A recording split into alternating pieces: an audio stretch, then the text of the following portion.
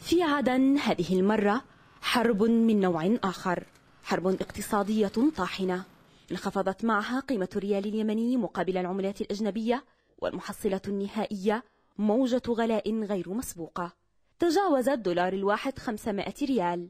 ينعكس ذلك على مختلف القطاعات الاقتصادية الأخرى بالإضافة إلى أسعار المشتقات النفطية والسلع الغذائية.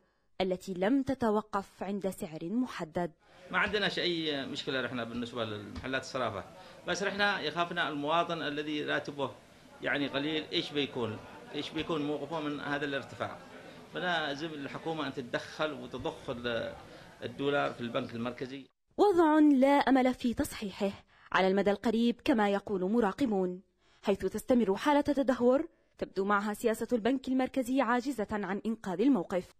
ويتفاقم عجز المواطنين إزاء توفير الحد الأدنى من ضروريات الحياة. الأسعار موت بطيء. تعرفين موت بطيء؟ يعني كل يوم يموتونها قليل قليل قليل قليل قليل قليل لما يقضوا عليها مرة هذا. الأسعار يعني مفلتة التاجر يبيع زي ما يشتي والحكومة ضايعة نفس الوقت. فين الحكومة؟ فين الرقابة؟ فين المسائل؟ فين القيادة؟ الارتفاع الجنوني للأسعار تعدى الكماليات ليمتد أثره إلى هذا.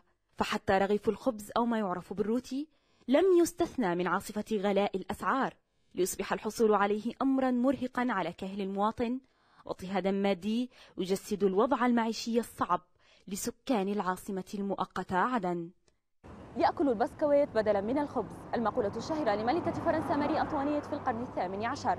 واليوم فإن أبناء مدينة عدن لا يستطيعون شراء الخبز ولا حتى البسكويت. فإن أين يلجؤون وارتفاع الأسعار؟ أصبح خطرا حقيقيا يهدد منظومة الحياة في العاصمة المؤقتة عدن.